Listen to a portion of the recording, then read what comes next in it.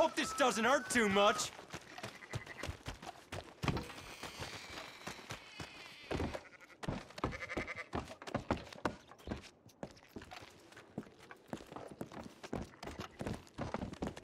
God can't.